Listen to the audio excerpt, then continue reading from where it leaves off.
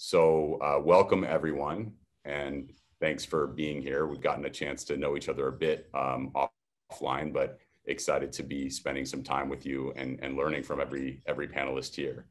Um, I'm super confident this is going to be a good discussion and a great learning opportunity. So, to be uh, clear and direct, the purpose of the chat um, is to honor AAPI Heritage Month and simply to encourage us to improve as an industry in baseball. Um, and as a result, hopefully, as a society, uh, improve at inclusion and acceptance. So, uh, to get better, I, I believe that we have to understand and discuss what's happening, both in baseball and elsewhere. Uh, and as such, I think it's important to recognize that the, the Center for the Study of Hate and Extremism at CSU San Bernardino released findings in early March that showed hate crimes against Asian Americans spiked nearly 150% between 2019 and 2020. So, how to stop these hate crimes is everything, everything. Um, and there are so many who have to change their behavior, and many responsible for, for stepping up to make changes themselves and, and help to create avenues for others to make changes. One way um, that I'm extremely passionate about is creating more diversity in the workplace. Um, that's just one necessary step in, in this big staircase. Uh, so that's one of the main reasons that I started Pipeline for Change. Our mission is to help baseball have a more diverse and inclusive group of decision makers, and then to do the same um, and amplify in sports and society. So, with that, we have a very cool panel today, and I'm excited to pass the Zoom mic to Liana to introduce herself and then let's go around the horn and, and have everyone do the same. Hi, I'm Liana Louie. I'm a DEI consultant sports philanthropist. Uh, formerly worked with the San Jose Giants in the front office and participated in Major League Diversity Business Summit. I use the pronouns she and hers. Hey, everybody, I'm Carmen Kiew. Um, I'm a co host of Triples Alley, the Giants post post game. And coming this May, we'll be doing Giants post game on Sundays. Um, lifelong baseball fan and uh, advocate for uh, equality, racial equality around, around the globe. Good to be here. Hi, everybody. Jerry Won here, uh, founder of Just Like Media. We're an Asian American storytelling company. I work with a lot of companies and organizations on sharing the Asian American workplace uh, workplace experience um, fun fact: I am a lifelong Dodger fan, which uh, makes this conversation that much more important. That we can put those uh, fun differences aside and have this very important conversation. My name is Travis Chock. I'm the founder of the lifestyle apparel brand Baseballism. Um, played baseball my whole life. Played some college ball at the University of Oregon. Uh, coached um, at the uh, college and high school levels. So I got a depth of baseball knowledge along with being Asian. And uh, usually when I played baseball on the mainland. I'm from originally from Hawaii. I was the only Asian guy on my team, so I have that perspective to uh, bring to the bring to the table. So um, it's great to be here, and uh, thanks thanks to Gabe for uh, giving us this platform. Very cool. Appreciate everyone and their their quick introduction. Um, I just wanted to hop right into the discussion if if that makes sense for everyone. And I I mentioned kind of amplifying voices uh, earlier, but I'd like to talk about allyship and um, in particular hate crimes against your community. So really interested in how we can help. And I thought we could kick to Carmen here and, and then just kind of go around and, and chat about this a bit. Yeah, you know, I think one of the things that that we've seen a lot of is is uh, during these kind of violent attacks on Asian people is that there are typically a lot of bystanders um, who maybe aren't doing anything or you know they're recording but they're not kind of speaking up. Um, so I think being a vocal ally is something that everyone can really do. I know there's many kind of sources of bystander training um, that are going on um, around online that people can take to kind of better educate themselves. But beyond kind of seeing something and saying something, I think it's continuing to be a vocal ally for all communities that are marginalized and speaking up even when there aren't maybe necessarily big media hits going on of of hate crimes, but kind of continuing your advocacy beyond kind of those tentpole moments. Um, because uh, I think, as a lot of Asian people will tell you, there's a rise in hate crimes, but none of this is new to us. I don't think any of us are surprised by kind of what's been happening. It's just become more amplified. Um, and, and so I think the continued support beyond kind of this very moment in time um, for, for all races is very important we have to address biases. And one of the biggest biases against the AAPI community is the model minority myth. And the premise behind that is that Asian Americans, and when we say the minor, model minority myth, I'm talking about East Asian Americans and not including the South um, East Amer- Asian Americans in this group, but like in this stereotype is that we are the ethnic group that are law abiding citizens. We're submissive, we're the silent minority, but we were the successful, the most successful ethnic group out of all the different groups out there and cultures, and that we were able to succeed in this American dream because we we boot, bootstrapped everything we did and we just worked hard and stayed silent and went through the motions every day and we didn't voice our opinions. And I think that's so problematic in this arena of social justice and racial equality. And it does a lot of negative things that harm, like it harms the diversity of Asian AAPI cultures altogether. And it also perpetuates anti Blackness, pegging Black Americans against Asian Americans, and that we need to fight for each other. But really, we should be formally forming a rainbow coalition together and really standing against racism and like white supremacy altogether. It also creates this unnecessary like competition between people of color that there's not enough space for everybody at the table when there's plenty of space and we need to be cognizant of making space for all these different groups to raise their voice make a statement and really represent their cultures I had a, a quick uh, follow up question, uh, Liana, as as you were talking. I mean, you talked about um, Black Americans and Asian Americans being uh, pitted against one another, and it made me think about um, a lot of the movies that I saw growing up. Um, how much of a responsibility does um, entertainment play, um, and in particular, like movies and, and television? Definitely when I was growing up, but I'm not sure how prevalent that is right right now?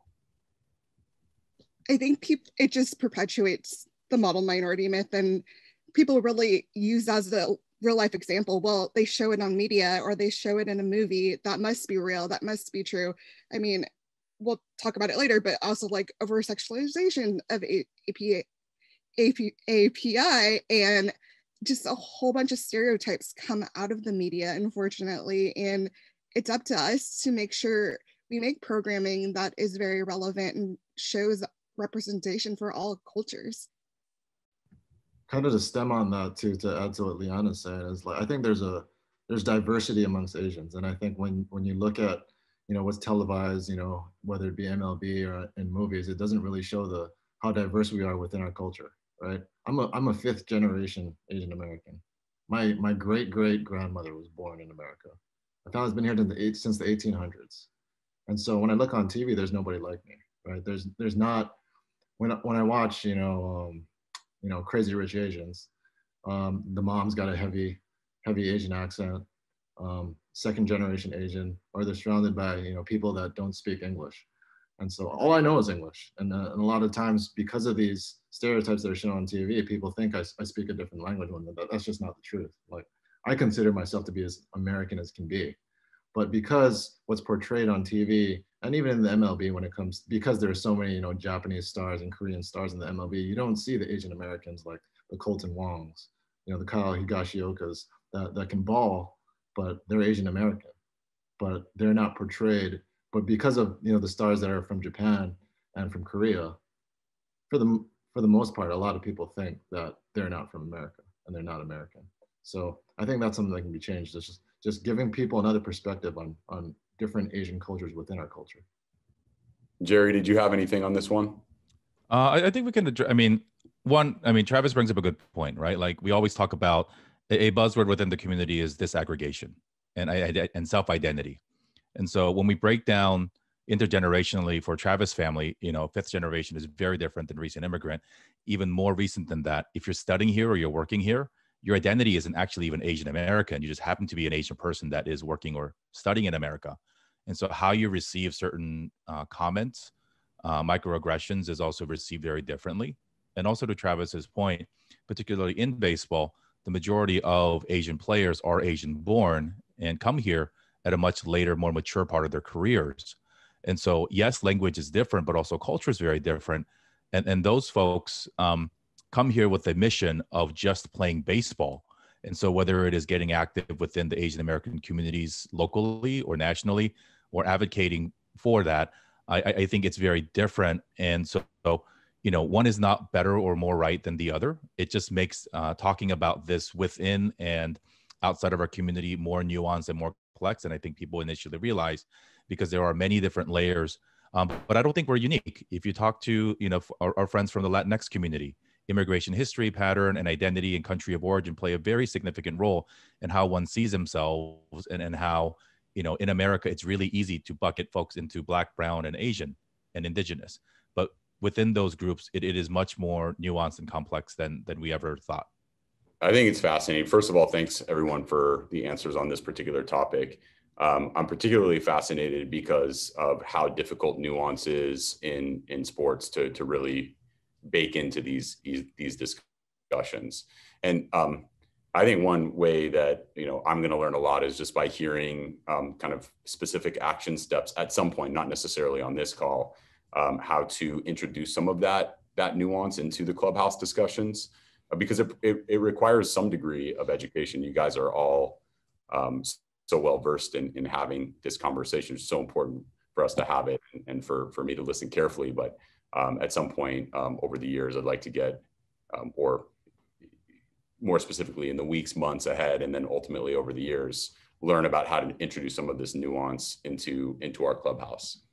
So um, I think this would be a good time to kind of uh, move on to the next topic, um, and and that is what are the problematic issues that the AAPI community is facing that translates over to professional sports, particularly in baseball. And I think the the previous conversation was a nice segue for this. Yeah, I can take some of this. Um, I think for me, um, it starts at the youth level um, because obviously, in order to be a major league baseball player, professional sport of any kind, you got to you got to have a strong youth channel. And at least for me, growing up, you know, I'm from Hawaii, where the majority is is, is the minority. So um, it was it was easy for me to play baseball growing up. Um, coming to the mainland, um, if, if you look at your, your normal travel baseball team, 12U, whatever it is, you're not going to see a lot of Asian people playing baseball. And there's been very strong efforts, you know, to, to get more African American, you know, Latin American people playing baseball. But if you look at the Asian communities, it's kind of been left behind. And so I think that's why you see so few Asian Americans playing professional baseball. I mean, you can name a few, but for the most part, like we talked about earlier, there's a lot of international players coming from overseas to play professional baseball. And baseball is special because, I mean, it's not like basketball where, you know, Asians are a little bit genetically challenged vertically when it comes to, you know, being six foot seven and, and you know, and dunking on people or whatever. But baseball is a sport that's, that's the majority that's required is skill. And Asian Americans have been seen to succeed in baseball coming from Japan, coming from Korea and there's no reason why there shouldn't be more Asian Americans playing professional baseball that are born in America. So I think that's one effort that that needs to be done is is making an effort to you know expose baseball to Asian American people and having that effort. And I don't think it's been done before. Adding to that, I, I think it's you know talking about like youth sports, right? Like um, in, in your case, Travis, you've been here a long time. It is the dominant culture or sort of the ratio group in Hawaii, but for the younger generation, like I was born in Korea, I came here when I was eight, and my parents signed me up for Little League here in Orange County. And everybody, every adult in the Little League system was white, right? Because that's whose parents had the financial luxury, the knowledge, the relationships to get involved in these things.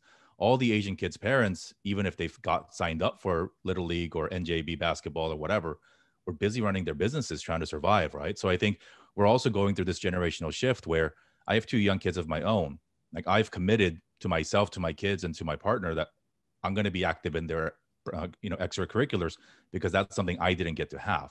Not to blame any of our parents for not being present, but they just didn't know. There's no coaching of basketball in Korea for youth by parents, right? And so it, it's this sort of you know it's going to take decades in, in, in some respects. And, and, I think on that same note, in the terms of you know um, how it relates to professional sports, uh, is a, a part of the myth of meritocracy that the best players advance, that the best players make it to the next level. But we know that that's not the case. And even if that were the case, does every kid, regardless of color or background, have the equal opportunity to achieve those results?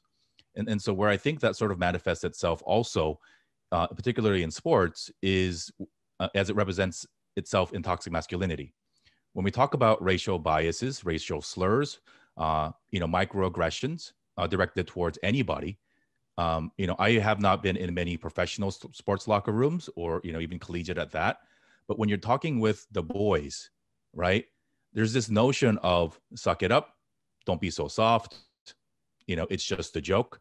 And those are technically now we know it as gaslighting, but those conversations are really then uh, the, the the victims or the oppressed are even more so forced to just suck it up, turn the other cheek, or even participate in self derogatory commenting to be either accepted or to feel like they need to do that to advance in this hyper competitive world that we know as professional sports, right?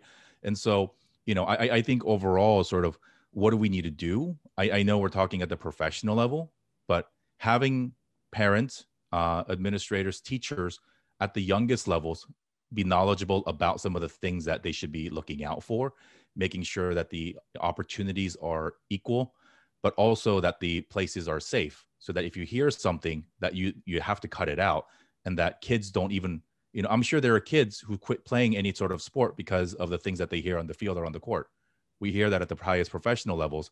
And so you know how do we how do we just make sure that you know baseball or basketball or anything can be equal or as equal as possible physical you know and, and so that the real true best players or the best you know uh, performing athletes can, can thrive so I, I think that's really, you know, it, it is not, it has to start at home at, really, really at, at a young level.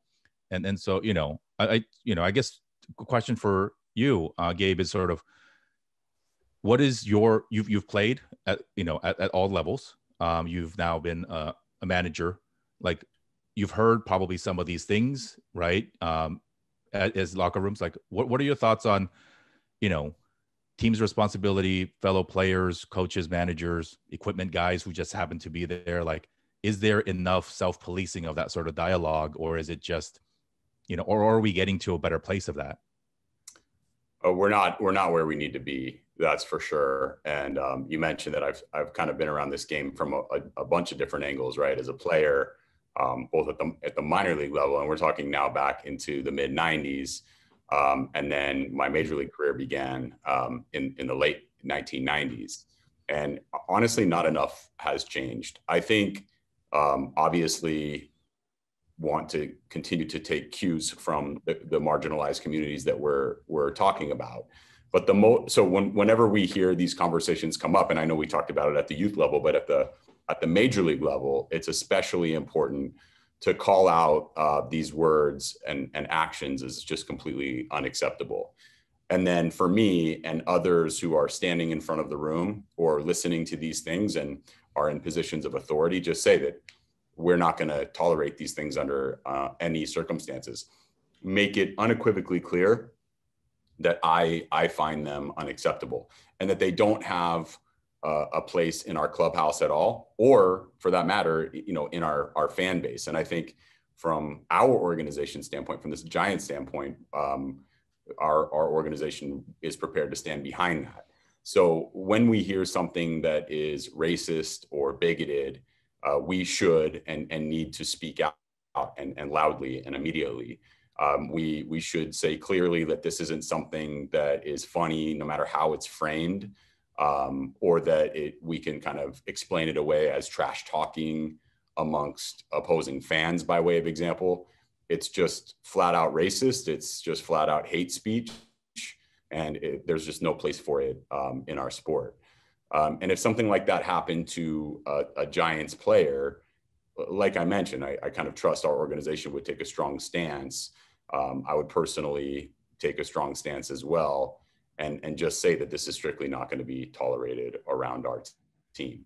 And I think others uh, will follow suit. But you know, the, the those who are, are wearing the uniform um, at the highest level have a real responsibility to set the tone. But I also want to kind of take a step back and hear from others on this. And um, you know, if if there's anything in addition to the things I just mentioned, I'd love to hear them.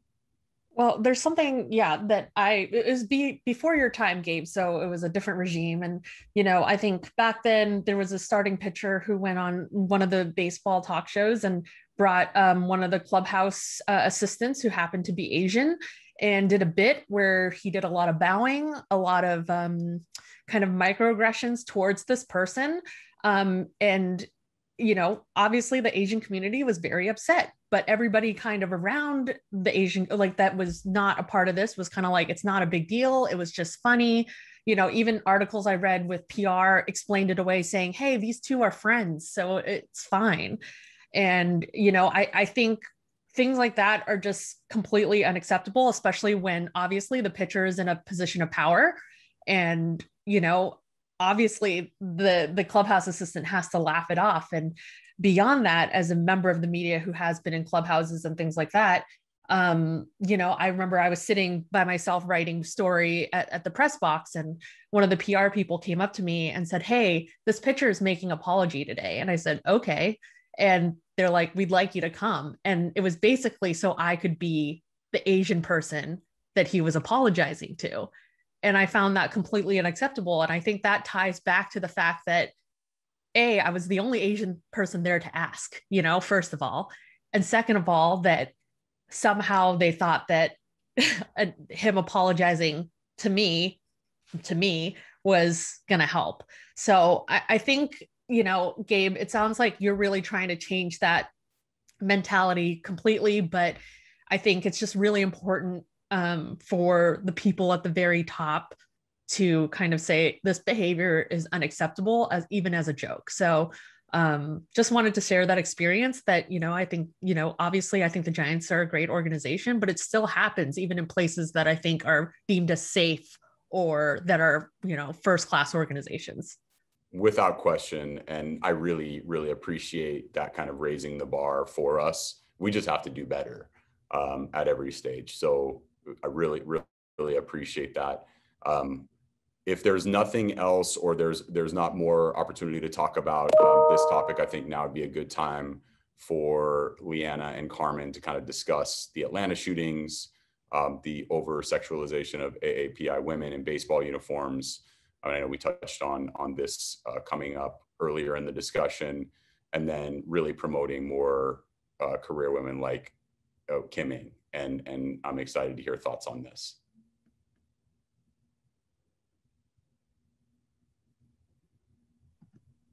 Um, I can talk more about like Kim like working in minor league or in baseball in general. We when we were putting together this panel, we were even struggling to find AAPI women to even ask, and I think a lot of that was really represented um, when I was one of five Asians to walk into baseball winter meetings and look around and I didn't see anybody that looked like me. Like I didn't see anyone that even like was of a different like culture, even with Latinx and black, it was very white dominated. And I think that having women like Kim break the bamboo ceiling and really not just shatter the glass, but the bamboo ceiling for us is like our version. Most AAPI members cannot pass that middle management level. And I know we talked about the players, but a lot of what we just mentioned is not also translates to the front office and other extremities of baseball, the philanthropy side, like Travis company baseballism, all the and Carmen being in media. I think a lot of that representation is important and being cognizant of bringing API talent and like that skill set into the front office and into media roles and into different companies is really important because that sets that gen- next generation up to be like oh i see that person is there i can be that person we're also seeing this with Kamala Harris. Like now, a little AAPI girls see themselves in a vice president, and I think that could be easily be translated to baseball if we could promote more AAPI people into positions of power. And while they get there they can lift and climb. And i know we're going to talk about sponsorship and um, mentorship later but i also think that's a huge piece of getting that talent into the right places yeah, I totally echo Liana what you just said. Um, and just to touch a little bit on the over sexualization of AAPI women, I mean, you know, I I obviously am more of a public figure in the sense that, you know, people see me and they feel free to say whatever they want to say to me on the internet. And there's certainly been a lot of things that are very inappropriate and that fall within that category. And I think that's a real problem. You know, it's it's certainly created like a a fear inside of me. Gabe, whenever I get back to the clubhouse, you'll you will never see me in anything but long sleeves and long pants because I'm so cognizant of it because mm. of what other people have made me kind of feel about it. So I, I think it's really important to not only have representation of women, which I think is super important in, in sports media, but I think it's really important to have Asian women because I mean, you know, I, I, there was one point where I was like, I think I'm going to quit because I was just getting people telling me to make them sandwiches and like all this horrible stuff, and I was just like, I can't do this anymore. And um, I got an email from a 14 year old Asian girl who said, you know, I finally see somebody who looks like me, and I feel like I can do this. And I think that's like really important. You know, it was one email out of like million hate comments but obviously i think this is why it's like super important to keep doing these things and to keep you know like liana was saying break through that bamboo ceiling because somebody has to do it. So we have to start somewhere and hopefully we can just get more little girls to to want to be involved in baseball. It's a really really powerful uh, and important story uh, being in the clubhouse. It's embarrassing that that um, that that experience is is the one that brings out the emotion. And um, really glad that that that you had that email exchange and and that that inspired you to kind of stay with it. Um, i if others have personal experiences i i think that this i i would just like to hear them um, in clubhouses outside um, interacting with people that that just um, treated you improperly or in, in more than anything else inappropriately I think on the on the representation note, sort of following on the themes of, of being a woman and being a particular uh, Asian woman, um, and I know Gabe, uh, you happen to be in Miami waiting to play the Marlins this weekend. Um, you know, when when Kim Ng was finally promoted to the position she's well deserved for a very long time, um, I, I, heard a lot of different narratives. There were uh, generally the white women who were just celebrating the fact that she was a woman and then there were your, your typical colorblind, genderblind uh, white men who were just like, it didn't matter what she looked like. She's just good. She's the best for the job. Mm-hmm. Well, it matters that she's Asian, right? It, it, matters that she's a woman. It matters an Asian and a woman in that role in a very non-diverse across both spectrums that she is where she is. So I, I think when we even celebrate people like her, it, it has to be in the context of it took that long because of both of those identities and she succeeded into that role despite all the discrimination she has faced most of which i would bet that she's never ever going to share right? The private comments the snide remarks and all the things that you know that she didn't belong in to put it very nicely. So so you know i, I think we're getting to a point where it is better right? Um you know, even our manager down here, you know, Dave Roberts is of, of Japanese and Black descent. And, you know, he advocates for both communities. So it means a lot. You know, both of our teams have had Asian born players. I mean, sure, I like, but the reason I'm a diehard Dodger fan is because of Chan Ho Park. Most Koreans in America are. And, and so, you know, I, it, it goes beyond performance. It goes beyond that. I think, you know, we really have to relish that. Um, you know, so, I mean, Carmen, I'm sorry too. I, I think, you know, having grown up here in the states and just buying into the narrative that we were taught within our, our school systems within the media i think to a large degree many of us were at one point either explicitly or blindly complicit in some of these things that made other people suffer. And I'm, I'm glad that we're having these discussions to make sure that you know one we fix our habits and we're raising a next generation of kids uh, who, who are more mindful and you know just cut it out. And so um yeah just really, really grateful for this conversation. Yeah, if I could add to that, I just want to applaud Liana and Carmen in being in the positions they are and kind of stepping outside the box, you know, and being women in the baseball community because, I mean, I don't want to put everything on everybody else as, as an Asian person, right? There's some there's things that we can do better to put ourselves in a better position to succeed in different categories.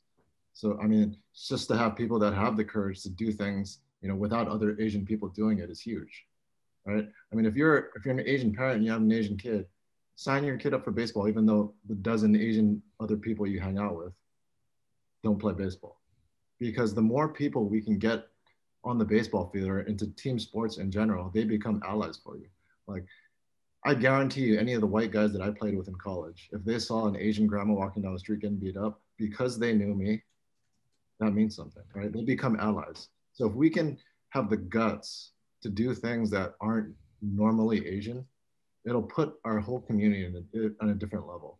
So I mean, instead of maybe hanging out with just your Asian friends all the time, put yourself in a different position that's maybe a little bit more uncomfortable because systematically that'll start changing things, right? The more the more people that don't know Asian people that begin knowing Asian people, they become allies for you. Like I guarantee you, every single you know white, black guy, Latin guy, whatever that created an Asian hate crime, he's never met an Asian personally in his life or her life. So I think the more that we can integrate ourselves and have the courage to integrate ourselves in, in, in places where we're not usually seen, that will help us, you know, become stronger as a community and just help everyone just just become more one than you know there's black people there's asian people there's white people there's, we need to be, all come together and and know each other so we can become allies of each other love that do, do you do you have suggestions travis on um, how we can kind of spark some of those discussions in the clubhouse like one thing that comes to mind is i know you know our, our bench coach kai correa um, is is there a way that we can kind of promote a conversation like that we also have um, a Japanese um, bullpen catcher who is very well respected in our clubhouse. Um, and I'm just wondering if there are ways to to kind of incubate or, or start that kind of challenging conversation. Specific specific talking points or, or ways we can get that going. Yeah, I mean, I think you know, Asian people just need need to see that that it can be done. You know, guys like Shane Victorino led the way for for me to play baseball when I was a kid. So if we can just get those guys out there and just say, hey, you know, I'm Asian, I play baseball, I'm good at it, you can succeed at this, so that you know, for the people that aren't as comfortable and don't have, you know, the, the non-Liana and Carmen's of the world that that have to have someone else leading leading them, they're okay. Oh, there's there's three other Asian people here. I feel more comfortable in this environment. If we could somehow, you know, allow those guys to lead and say, hey, you know, I'm Asian, I play baseball. This is a safe place for us it'll help you know open the floodgates for more Asian ball players, you know, more Asian women in the game, and I think that's just a part that's a plus for everybody. on that note, I mean, Travis, you said you you know you talked about sort of one you know hand to hand combat, if we if we can use that you know uh, phrase to talk about building empathy and building relationships, right? I think, um, and I don't know about athletes, but many many people who are Asian or any sort of demographic, um, as, as you mentioned, Carmen, like you don't want to be the token that's also being told like, hey, you're Asian, talk about Asian stuff because it's May, right? Like it, it needs to be done uh, thoughtfully, and, and the people who are leading these conversations, you know, have to be brought into sort of the you know the camp of understanding that. So I, I think you know what it what it also has to involve is those of us in the community who have um, you know resources or opportunities for them to come and not only share but also learn together um, because i you know if we're talking you know, to bring in, um, you know, any of the Korean pitchers to use an example to talk about Korean American issues. They don't know. They didn't grow up here, right? But from a visible perspective, they may be expected to speak on these things. So I, I think it is in concert, right? Like, you know, are these folks who represent our community visibly? Are they, you know, prepared? Are they, you know, um, uh, trained or you know just even coached on on how to talk about it? And that is on all of us, right? Um, baseball player or not, I, I think um, when when it comes to you know are you a role model because you're a baseball player unfortunately yes because you, you share a public face and a public image right and so you know how do we have these private conversations calling folks in um, and to make sure that they don't feel it as a burden to uh, be the one voice talking on issues but so that they feel equipped and, and strong and confident about talking through these issues and, and again that's i think that's on all of us thanks jerry uh, anybody else on this topic before we move on to to what I think is going to be a really important uh, discussion point? Okay, cool. I, I just wanted to to ask um, one question, and this is you know really for for me to take some notes and and just think through in my own space and time. But people in positions of power, uh, like myself in in our workplace, what are some of the ways? And and I think Carmen uh, really probably has an incredible perspective here. Um, what are some of the ways that we can make your your experiences better? I mean, I, I certainly think that one of the things that can be done is to elevate kind of these minority voices. Um, you know, as I look around to colleagues that I have, they're all white men. You know, you you rarely see female beat writers, um, and if they are, maybe they're they're not of color. So I think being able to elevate these voices, make sure that they're heard, is something that is is really crucial because um, obviously diverse perspectives is something that is important, um, and there's just not enough of that in baseball.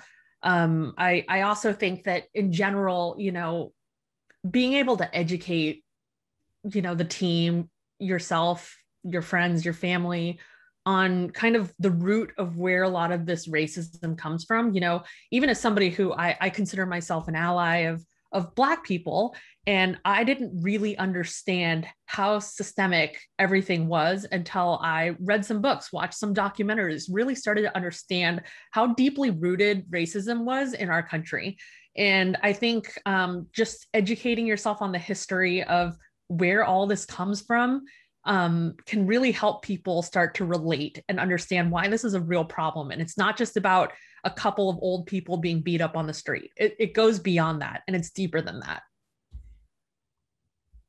Thank you. I think from a baseball perspective, there's one really one one of many, but one particularly very ugly incident that sticks to my mind, um, which was in the 2017 World Series when Houston Astros player Yuli Gurriel made a blatant uh, racist eye gesture uh, towards Yu Darvish. Um, it wasn't dealt with it in the game. It wasn't dealt with it in the moment. The suspension that came down was to be started in the next season. Um, you know, hysterically, we now found out more information about that season, which makes it even more the comical in, in terms of the Houston organization. But their lack of uh, stepping up in the moment to keep one of their stars players accountable to a blatant racist gesture that they were getting called out for everywhere. Um, and then when he came back to the plate the next time, he got a standing ovation. Not keeping your own players accountable. And again, I, I my, my bar for professionalism from the Houston organization is negative, given what we know. However, baseball didn't stand up right? The commissioner's office, the league office, the players union did not keep anybody accountable because he was a great player in the World Series. There were other incidents, even at recent as this weekend, where uh, uh, Taiwanese-born player Yu Chang received a barrage of racist tweets. So, what, what are we going to do about that, right? What are we doing to keep folks accountable, and not just the players? You you can we have the technology to find out which fan said what to ban them from stadiums, to take away their season ticket rights. Um, you know, even during that Houston series, I had a friend in Houston send me pictures and, and shared widely of a fan, a season ticket holder, doing that gesture to our players. That person's season tickets were not at risk. They, they face no repercussions. And so, what it actually does is one, the, the pain never gets dealt with, but two, it, it sends a strong message the other way that those things will never have any repercussions. And what are we teaching to our entire generation of young people who watch that to say that that's okay? And not only that's okay, you're going to get a standing ovation from 50,000 people in a baseball stadium for doing that. And, and so, um, you know, incidents like that hurt. Um, and, and so, you know, in, institutionally as teams, as businesses, if you're not willing to forego some money and, and some opportunity um, in a capitalistic society, even baseball is, you know, I don't think we can ever take organizations seriously when they put out these nice statements, these nice tweets, these nice Instagram squares that say, we strongly condemn XYZ and we stand with the ABC community. We see it over and over again, but without real action, and sometimes it has to be punitive action, um, I, I, am not hopeful that we're going to see and you're going to lose millions of followers and fans because I know people who don't watch baseball because of that. It's it's you know it's also bad for business, which doesn't make any sense to me. That was really helpful. Um, I just want to make sure that that we that everybody has a chance to touch on this. Um, I, I want to actually circle back to some of that, Jerry, if, if that's all right. But I'd, I'd love to hear other perspectives as well. So I really think Gabe, first, thanks for acknowledging that you're in a position of power. A lot of cis white men don't do that. Um, I think it's important to create mentorship and sponsorship. So, mentorship for those entering the baseball industry for the very first time and helping build up their skill set and talent and being a sponsor saying someone's name in a room of like hundreds of opportunities i think is so important. I think it's incredible that you have been doing that with alyssa this year but i think it also you could do that more for other un- marginalized and underrepresented populations and i think pipeline for change is a great example of that. No we're going to talk about what you guys do but creating equity for the AAPI community in baseball is so important. And I think these are some small steps we can do to create that equity for us. Does that start with um, does that start with hiring and just kind of stripping out as much bias as possible? What what do you, what do you do when when you think about like how to surround yourself with the most diverse group of decision makers? I think some of it does start at the pipeline of talent coming into your organization. It really, you want to make sure you have a diverse slate of candidates. I know, like with the NFL, with the Rooney rule, that they have one person of color interviewing. I think MLB could easily follow suit within all levels. I know making sure that you guys have a coach that can speak the language of your players is really important. Um, even in the front office standpoint, when you are recruiting, when I was with Major League Baseball, like in this diversity pipeline, I think we could have reached out better to certain marginalized groups and really looked at the data. Like you guys use sabermetrics in terms of diversity recruiting, we look at the data and look at like races and genders and sexual orientation and really like seeing where the opportunities are and who is falling through the cracks in your recruiting pipeline you think that could really help you diversify the slate of people you're interviewing and getting through the interview process and eventually hiring? Yeah definitely hearing that loud and clear. Um, so it's kind of diversi- diver- diversifying the the candidate pool. Um, and then and then once we're able to get a more diverse group of decision makers in place and even if they're starting out at more of an entry level position and i think we've touched on this a bit but it's it's advocating for at the right time advocating for those individuals um, calling out um, the reasons that they are really good at, at their jobs and then providing mentorship programs um, for those communities at, at, at every turn and and I think that is going to you you had mentioned the position of power and and um, you know kind of how homogenous it is across baseball. I'm I'm hearing that it's it's going to take those folks, myself included, um, to not just create the pipeline, but but also once we have those employees in our system, promote them and and and support them. Is is that fair and ac- an accurate kind of encapsulation of what we've been discussing? Yeah, I think so. I think so. And I also don't want to put it all on people uh, in positions of power, right? In order to hire a minority candidate, there have to be minority candidates that want to do the job. Right? I'm in I'm in a smaller position of power right now, running baseballism, and honestly, there's not a lot of not a lot of Asian candidates that, that apply for our jobs because I mean we're in baseball too, and there's just not a lot to choose from. And I don't I honestly don't want to hire the fifth best candidate just because that person's Asian, right? In order for a person of power to make a good hire, a good minority hire, there has to be a minority person that is the best job for the candidate. I'm the best person for the a candidate for the best that is the best person for the job, right? You want to hire someone that's the 10th best candidate because they're a minority.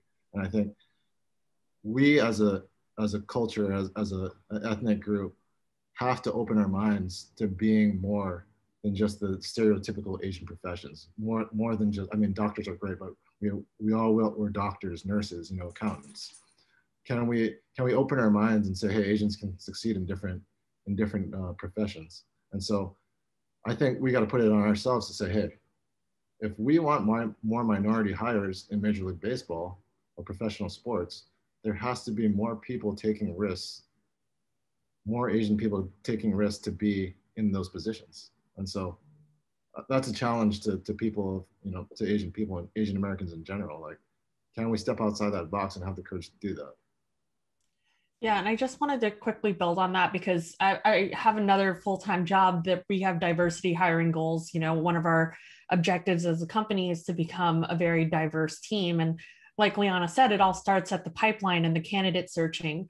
Um, but just to, to uh, counter a little bit what Travis said, I do think that you know you you wait for people to apply, but a lot of people think I can't do that job or I don't have the right skill set or whatever. You know, people talk themselves out of applications all the time, um, especially people in minority groups who have been kind of uh, kind of repressed their whole life um, from from the system. So I think even being proactive and going out and searching for these candidates, because there's something in me that refuses to accept that you can't find somebody of color to take a position that is as good as a white person. Um, I don't know if that's actually true. I have no facts to back that up, but that's just my inherent belief. And so I think potentially setting, um, like again, doing what Liana said and looking at people um, within the team that are uh, people of color, gender, uh, sexual identity, and not only looking at what percentage of those people you have, but seeing where they lie within the organization. Are they all support people or are they people of leadership? Um, I think that also matters because, you know, a lot of times um, you'll see uh, brown and black people kind of at the bottom of the food chain, and it should not be that way. So I, I think just being able to take a realistic look at what is under the hood of the Giants organization and just being like, this is what it is, but we want to be better. And here are our goals for the next five years can be a really kind of more tangible approach to it. And in a baseball perspective, I know that uh, a way that many teams, professional teams, engage with local communities is, is through an array of heritage nights, um, which I think are good uh, on its surface. And I think the intent is good if it comes from the sales department, it is not good. If it is done to sell more tickets and, and to print some t-shirts with the Korean flag infused into the logo, and then they never care about the community outside of that, that's also, I, I think that's actually a net negative, right? Because the community just feels uh, exploited for, for ticket sales. And so I, for, for the teams that might be listening, or if you're in these roles, you know, um, you know, perhaps it should be a community engagement led focus. Perhaps it should be an executive led focus. You know, um, you know, our, our team down here, when in its heyday, they had like 40 different heritage nights for all sorts of different, you know, and it was very evident that it was a marketing led, you know, how many, how many groups of people can we feel, can we make feel special to come on these nights and, and boost up sales on, on a Tuesday, Wednesday night game, which I understand the business side of it, right? But if you're dealing with, you know, communities that are, are present, that are marginalized, that are voiceless, um, you know, what are what are the teams doing not only from a community partnership perspective from a financial donation perspective but providing children and, and young people from those communities to get the experience to come get a tour of the stadium or you know meet with some of your staff or meet with your players? It's complex right? And, and most teams as i know the giants do as well has a foundation built into it to do some of the community work. Um, I'm, I'm all for you know community nights. I've, I've had my fair share of involvement ones down here. Um, but you know is it can it be perceived as performative or an actual reaching out to make sure that the team has a vested interest in the success of our local communities? Um, and then so I, I, think that's an easy one that's already has some of the wheels in and then based on those relationships it's really easy to find people from any community to come bring in as guest speakers or as partners or just to check to say like hey are we doing these right? Like we just don't want to make sure that we're you know saying the right things. Um, so I, I think those are you know really amazing things um, or I guess really easy things that we can that can lead to really amazing impact.